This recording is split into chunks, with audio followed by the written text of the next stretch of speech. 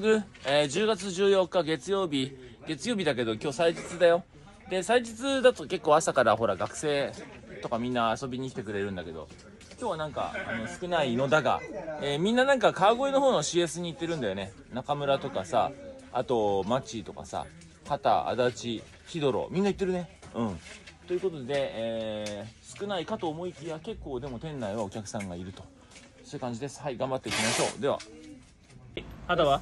ザコですザコか、お疲れ。じゃんけん先輩じゃんけん先輩か、しょうがないな。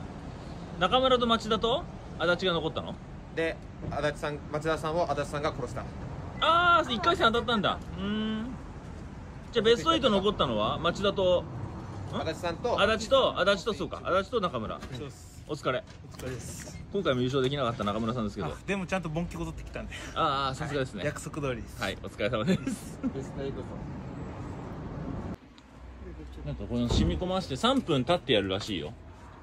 え、じゃあこれはじゃあ3分待って、こっち側もじゃあかけるちょっとね。この上の方かなり落ちたんだけど。んはい。ああおうはい、これは終わりました。かなり。はい。じゃあこの辺もやっていきたいです。これ中村。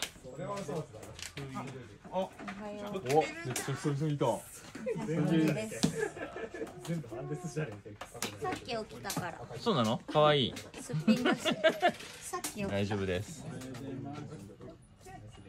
て触られちゃった。はい。見てよ、ほら、これ。すごくない？これ、頑張ったの。中村中村がさ、中村が映るよ、この顔。ガラス、どう中村、綺麗になったでしょ？めっちゃ綺麗になったすごい頑張った、もう、ガリガリやってなん。かガリガリ聞こえんなと思ったそうそうそうそう。珍しく俺が黙々と。まあ、だから、残りは中村に頼もうと思って、こちら側。こっちねじゃあ一発粉々にする？新しいのに変えてくれるあ、そうかそうかそうか。ということで、は500い。円でいいですか？500円じゃ多分ダメだなまあでも綺麗になったっつうことではいやっていきたいと思いますはいよしはい。閉店間際のいつもの風景。のシリーズはい今日は店内から。あ俺の車か。俺の車が邪魔なのか。あはい。ん？あまあで出たらはい鍵。出ますからはい。鍵鍵。いいよいいよはい。うん。待って1分超えてなくね？嘘でしょ？最後にじゃあ。もうちょっと。中村さんの変顔ではい、ということで、祭日を。あ、なんか取られてる逆に。